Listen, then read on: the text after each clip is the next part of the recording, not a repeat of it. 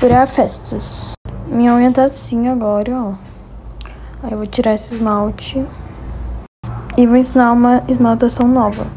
Primeiro eu vou usar essa acetona aqui pra limpar, no caso pra tirar o esmalte. Pronto, agora eu vou dar uma lixada.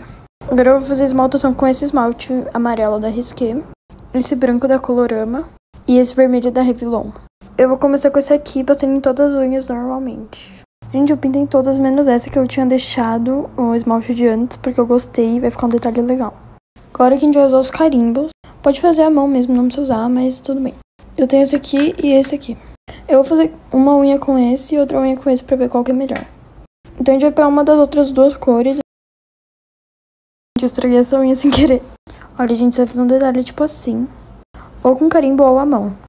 Agora a gente vai fazer a mesma coisa com o branco, só que do outro lado. E dessa vez eu vou usar esse carimbo aqui vou gravar, se der.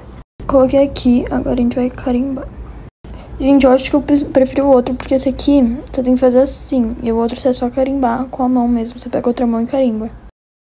Gente, ficou assim, ó, o dedão aqui. Assim. E esse aqui eu deixei como tava antes porque eu gostei. E combinou um pouquinho.